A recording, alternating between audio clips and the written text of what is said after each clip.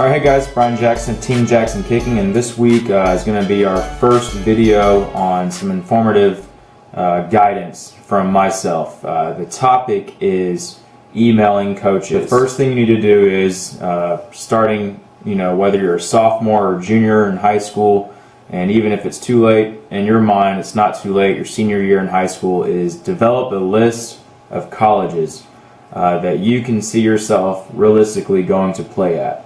Um, don't just stack up a bunch of Division 1A schools.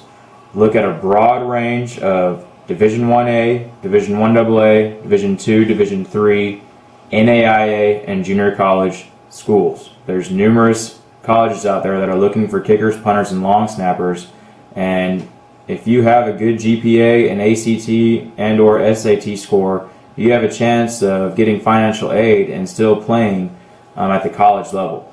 So understand that. Get a list of some, some bigger schools that you really like that are around you, and also do a big search of schools all across the nation and start narrowing it down It's about 100 to 150 schools that you can see yourself realistically going to with your ability, with your team, um, with people that have evaluated you, with all those different aspects, set yourself up for greatness. Um, when you're emailing a coach, you need to be proactive. Okay, um, coaches are extremely busy. Um, they have a lot of things that are going down, so they might not have a chance to check your email. So make sure you're in the subject line, you're stating something very precise and to the point. Um, if I'm a kicker and I'm interested in um, Baylor University, in the subject line, I'll put class of 2013 kicker and, and maybe my name, okay?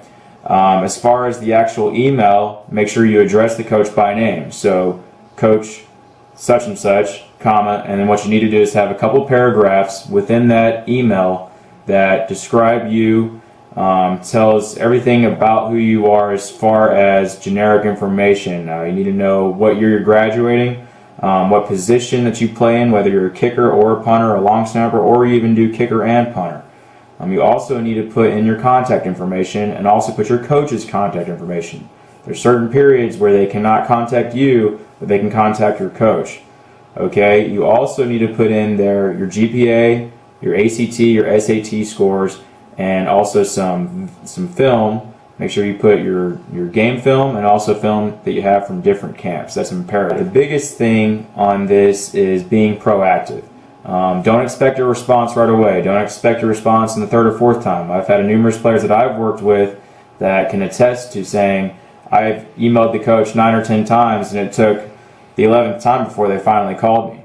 So um, just understand that. Keep it short, sweet, and simple. And the last thing is is don't just send the email off. Have your friend, have your parent, have a sibling look over it and make sure there's no grammar um, issues, there's no error.